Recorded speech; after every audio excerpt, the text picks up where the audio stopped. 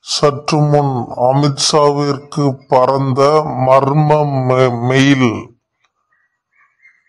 ஆடியது திமுக அஸ்திவாரம்.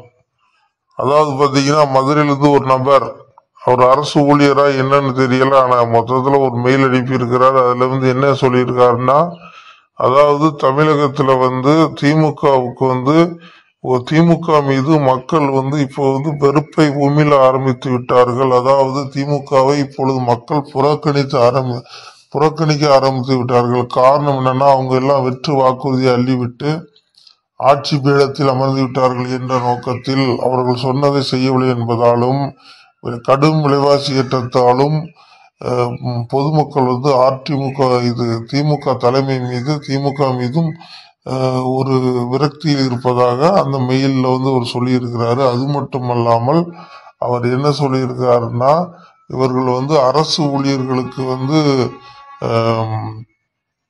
செய்ய நிறைவேற்ற முடியாத திட்டங்களெல்லாம் செஞ்சிருவோன்னு ஒரு வெற்று வாக்குறுதியை கொடுத்து அவர்களின் அவர்கள் பகையையும் இவர்கள் சம்பாதித்து விட்டார்கள். அதனால் தமிழகத்தில் மக்கள் மனதில் ஒரு வெ- ஒரு வெறுப்பு வெறுப்பை சம்பாதித்து விட்டது திமுக இந்த சூழலில் பாரதிய ஜனதா கட்சி வருகிற நாடாளுமன்ற தேர்தலில் அமோக வெற்றி பெறலாம் என்றும் இந்த அந்த மெயிலில் வந்து அமித்ஷா அவர்களுக்கு அவர் அனுப்பிச்சிருக்கிறாரு.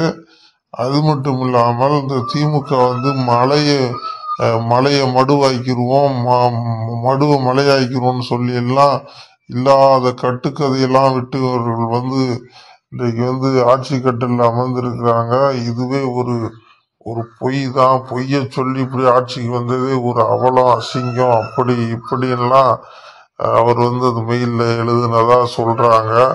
அது மட்டும் இல்லாம இந்த மெயில் பாத்தீங்கன்னா நேரடியாக அமித்ஷாவுக்கு போயிருக்குது. இதனால பாத்தீங்கன்னா திமுக வட்டாரங்கள் வந்து ரொம்பவும் ஒரு பயத்தில் பயத்துல இருக்கான்னு சொல்றாங்க. அதாவது திமுகவின் அஸ்திவாரம் ஆடி போச்சுன்னு கூட சொல்லலாம். அந்த அளவுக்கு பார்த்தீர்கள் என்றால் இவர்கள் வந்து எவ்வளவு ஒரு மக்கள்கிட்ட வந்து வெறுப்பை சம்பாதிச்சிருப்பாங்கன்னு பார்த்துக்கோங்க. இதுதான் அந்த மெயில் ரகசியம். திமுக கதை முடிந்ததுன்னு கூட சொல்லலாம். நன்றி.